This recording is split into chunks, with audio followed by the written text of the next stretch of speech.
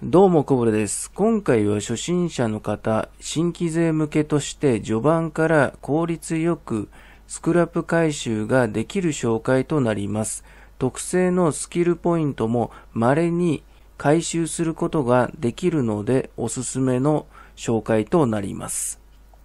まずはじめに初期防具のセット装備アドベンチャーを装備します。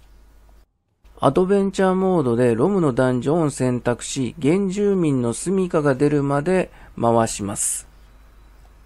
こちらのロムのダンジョンの原住民の住処の壺を破壊することで、金属素材スクラップ回収ができます。この集会は、レベルが上がれば上がるほど、獲得できるスクラップの回収する量が変わってきます。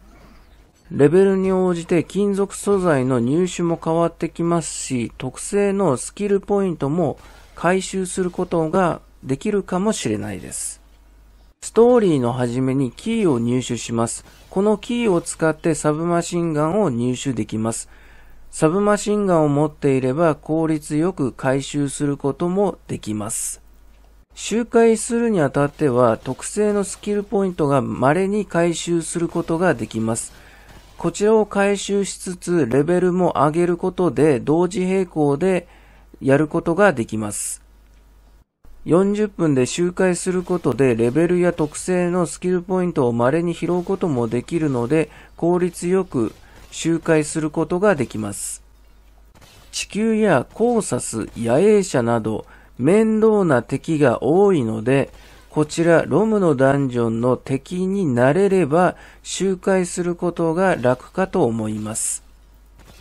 この方法で武器や防具の強化をしてからストーリーモードを効率よく進めることができるので、おすすめの周回方法となります。最初で取得できる特性をカンストさせてからストーリーモードをやるとボス戦も楽に進めることができると思います。